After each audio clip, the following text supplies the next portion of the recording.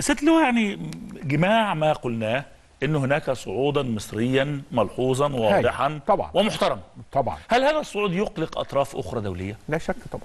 لا شك. لا شك. اولا اطراف في المنطقة وأولهم تركيا. تركيا عندها مشكلة كبيرة جدا بين آه، مصر والسعودية. أنا كنت ملحق عسكري في تركيا ثلاث سنين. فأعرف عشت بقى تركيا ثلاث سنين باكل بشرب شايف وشفت بداية التحول لما نجم الدين أربكان اول اسلامي يعمل آه. آه. حزب الرفاه ويتولى الوزارة وبدات تتشيل العلمانية بتاعت أتاتورك تركيا النهارده مشكلتها في المنطقة إنها زي ما قلت مرة بتاع عاوزة تاخد ثلاث قبعات، القبعة الأولى عايزة تخش الاتحاد الاوروبي وده أعتقد بعد مستحيل. است... إنت اترفض تماما اتقفل. دلوقتي آه فأصبح عندها السيطرة على المنطقة الشرق الأوسط شرق. فمين النهارده أقوى دول فيها؟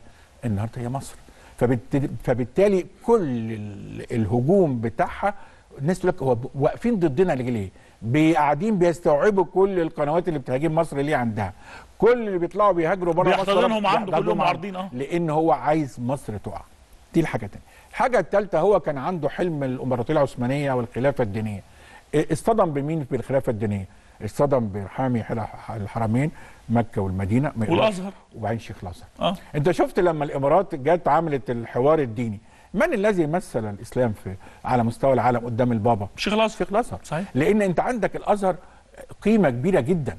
فالنهاردة تركيا مش قادرة حتى دينيا خلاص كان زمان بقى أيام السلطان العثماني حاولوا يعملوا جامعة زي حاولوا الأزهر. يعملوا آه، جامعة آه. والكلام ده كله إنما ما زال الأزهر هو الذي يسيطر وله تشوف المشايخ يعني مصر عقبة أمام تحقيق آمال أمال- وطموحات فهتلاقي- العثمانيين فهتلاقي كل ال- ال- الهجوم التركي علينا في الفترة اللي جاية. الحاجة الثانية طبعا قطر، مثلث الشر هو في المنطقة وقطر.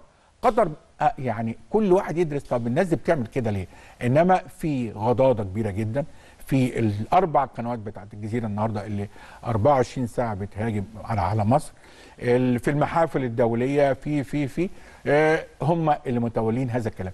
فأنت هتلاقي طبعا هذا الصعود اللي هيتم إن شاء الله آه، 24 و25 في شرم الشيخ هيقابل من هذه القوى اللي مش عايزة مصر تقف على رجليها مرة ثانية وتكون قوة مؤثرة إقليمية وعالمية.